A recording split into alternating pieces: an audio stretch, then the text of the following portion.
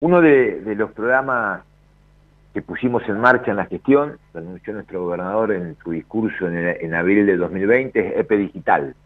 EPE Digital lo que busca básicamente es aprovechar las ventajas de las nuevas tecnologías de información y comunicación para acercar a la EPE a, los territorios, para acercar a la EPE a la gente, para mejorar los niveles de eficiencia y de equidad, con la cual eh, esta empresa, que es la más importante de la provincia, que es de todos los santafesinos y santafesinas, lleva adelante la prestación de, este servicio esencial como es el servicio eléctrico.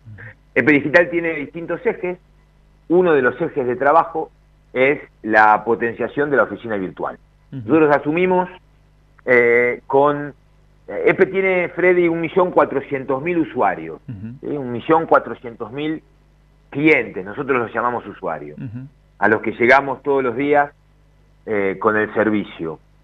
Eh, teníamos al asumir la gestión 130, 140 mil usuarios adheridos a la oficina virtual, que es la plataforma con la cual de manera virtual EPE se contacta con sus usuarios, pero teníamos muchos menos, muchos menos, de, de estos 130 mil eran muchos menos los que habían adherido a la factura digital.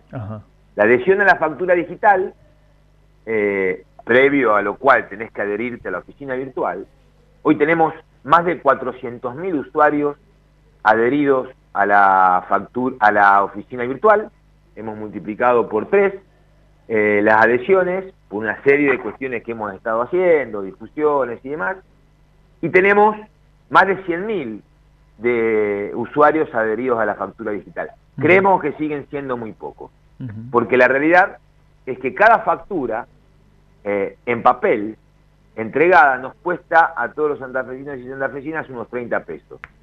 Eh, si multiplicamos eso por un millón trescientos mil, que son el millón cuatrocientos mil menos los cientos diez mil, vamos a tener idea de el costo que tiene para la empresa, es decir, para todos y todas, la factura en papel, además del impacto ambiental. Entonces, hemos instrumentado una campaña de promoción donde vamos a estar sorteando entre los usuarios residenciales, los jubilados y los, los usuarios que son beneficiarios de la tarifa social, 25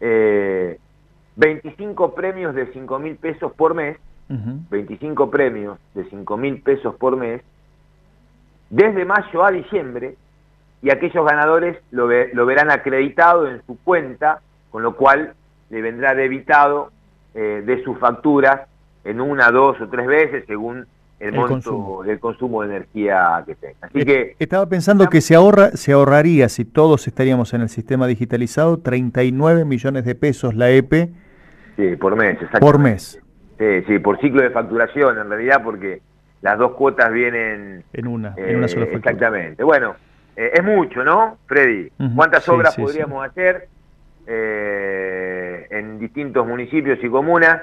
Y nos ahorraríamos esos recursos. Bueno, a eso apuntamos. Eh, ojalá podamos cerrar el año con más de 200.000 usuarios adheridos eh, a, la, a la factura digital y eso ya va a significar un ahorro eh, más que importante y si es así, obviamente continuaremos con este programa, con esta promoción de aquí en adelante, porque de eso se trata, de ver cómo día a día vamos mejorando eh, los niveles de eficiencia y de equidad eh, en la gestión de esta empresa, que insisto, es una empresa pública, es de todos los santafesinos y santafesinas. Estoy pensando también, no sé, a un vecino le llega la, la, factura de la, de la EPE 5 mil pesos. Cuando va al banco, cuando va a las mutuales, cuando va a los rapipagos o a los pagos fáciles, no solo el tiempo, sino que también todas esas situaciones intermediarias se quedan con uh, una rentabilidad de la factura que, que nosotros abonamos. Sí, eh, esa renta, digo, digo, este ese dinero también iría íntegro a la EPE. ¿Cuánto, este, por, por cada factura de 5 mil pesos, eh, cuánto se queda cada una de esas instituciones intermedias? Que tienen todo su derecho porque hay un trabajo, ¿no? Tienen todo su derecho, en todo caso son instituciones intermedias que, fortalecen eh, este tipo de servicios en, las comunidades, pero, pero es cierto, eh, si lo podemos evitar.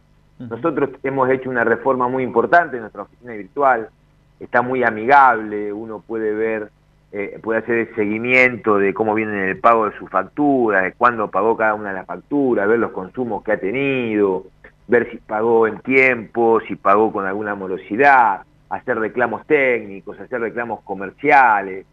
Y el tiempo, Freddy, el tiempo que nos ahorramos, el tiempo es el recurso más preciado que tenemos los seres humanos. Eh, podemos aprovecharlo mejor. Eh, esta es una de las cosas que la pandemia no, nos ha mostrado, ¿no? Seguro. Cuántas cosas que antes hacíamos de una manera la podemos hacer mucho mejor, mucho más seguros y de manera más eficiente de otra, ¿no? Seguro. Acá estaba viendo el, portal eh, epesantafe.gov.ar y, y figura la oficina virtual y así podemos obtener todas las preguntas que, que se requieren. ¿Eh? Que, la gente entonces trate de, ingresar en estos mecanismos, no solo va a tener la posibilidad de ganarse algún dinerito, que viene muy, muy bien, sino también de, esta historia que usted mencionaba, ¿no? Este, ahorrar tiempo, ahorrar recursos, no imprimir papel y, y demás. Así es. Mauricio, la, última. Eh, cuando usted tomó la, dirección del, directorio de la, de la EPE, me imagino que se ha encontrado con situaciones de todo tipo de diversa naturaleza. Del 1 al 10, eh, faltando un, año y medio para la culminación de la, de la gestión. Eh, ¿en, cuánto está la EP? ¿En 8, en 6, en 4? Me haces acordar a mi viejo, mi viejo siempre... Te ponía notas. de viaje o cuando iba a jugar algún partido de básquet, me decía, claro, me decía. ¿Qué, qué, calificación le pones al viaje? ¿Qué calificación le pones a tu, a tu actuación? Mira, Freddy, eh, si uno analiza objetivamente algunas cuestiones, no te olvides, no dejemos de ver que EPE es una distribuidora de energía eléctrica de la provincia de Santa Fe, de la Argentina. Entonces hay que contextualizar. Si nosotros vemos los niveles de calidad que están auditados eh, en la prestación del servicio, EPE está entre los mejores, claramente. Eh, y seguimos incorporando, hemos propuesto en la última audiencia pública la posibilidad de un esquema de segmentación territorial, es decir, aquellos usuarios que hayan sufrido por culpa de EPE, digamos, por problemas de la empresa, eh, durante, un, durante un semestre, cortes superiores a las 12 horas, 12 horas en un semestre, que es muy poco, pero igual le vamos a otorgar un descuento en la tarifa de un 10%. Eh, vamos a reconocer aquellos lugares que han tenido alguna calidad inferior en la prestación del servicio. Te estoy dando un ejemplo, ¿no?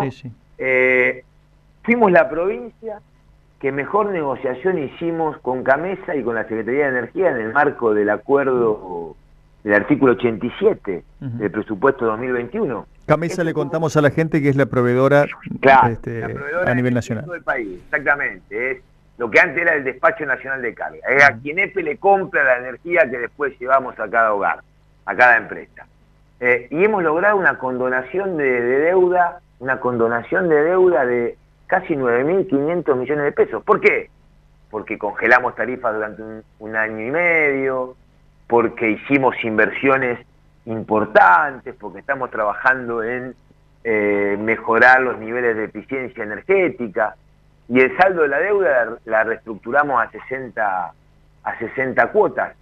Eh, hoy EPE distribuye, eh, Freddy, el doble de energía que hace 20, 25 años, con un 20% menos de empleados. Eso te da la pauta del aumento en los niveles de productividad. Yo le pregunto a cada, a cada oyente que nos está escuchando, ¿cuántas veces, hagan este cálculo, cuántas veces intentamos una comunicación por el celular y no la podemos tener? De cada 10, ¿Cuántas no tenemos? de cada 10 veces que encendemos un aparato eléctrico, ¿cuántas no encienden? O eh, de cada 10 veces que intentamos hacer un trámite a través de Internet, ¿cuántas veces no lo podemos hacer porque la página de banco nos dice en este momento no puedo realizar esta operación o estamos trabajando para... los niveles, de, por supuesto que nos enojamos cuando se corta el servicio. Claro que nos enojamos cuando se corta el servicio. Ahora, lo que hay que pensar es eh, en todo el proceso, en el año, durante el mes, cómo está el servicio de... Y yo creo que ahí estamos bien. Entonces, independientemente de, la calificación, Freddy, que además, lo que hoy ocurre con EPE no es responsabilidad exclusiva de Mauricio Caucio y de Omar Perotti. Tiene que ver con lo que se hizo en el pasado también. Y en el pasado también se hicieron buenas cosas. Eh, como seguramente quienes vengan eh, sostendrán eh, algunas cosas que estamos haciendo nosotros y buscarán